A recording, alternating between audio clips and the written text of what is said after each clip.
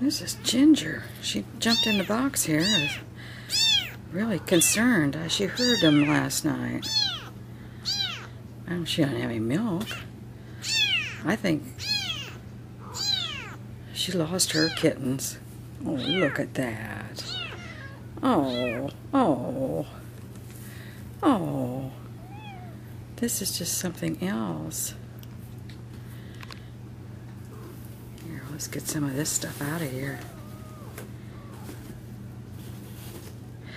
There's a little white, kind of really light gray one and a tabby. Look at that. Is this not something? These little kittens were found yesterday. Two of the kittens had died, and two of them were taken in a box to PetSmart by these young kids. And I raced over and picked them up and stuck them under my shirt. They uh, they were so cold, they were just like ice, and I I thought the white one was taking its last breath. And I got home and I started putting towels in the microwave to heat them up. Goodness. She might just take care of them.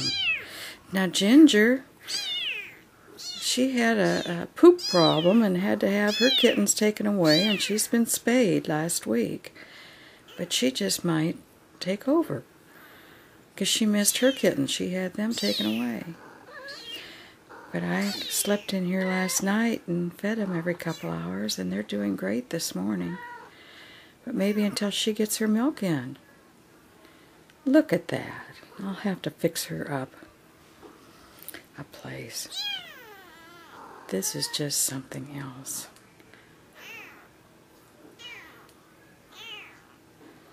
I finally let her out this morning. She was really trying to get out. and she just now jumped on the bed as I, I just fed him. And put the box down and she jumped in the box. I'll obviously have to get a bigger box.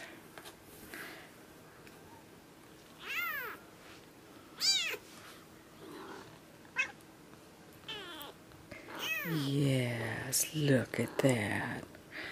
Ginger's that's so sweet. Ginger wants some.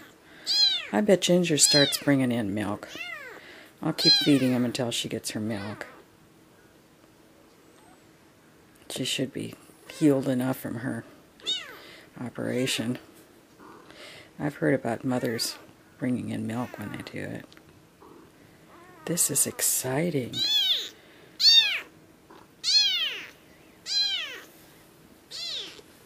Can you believe this? Look at her care for them.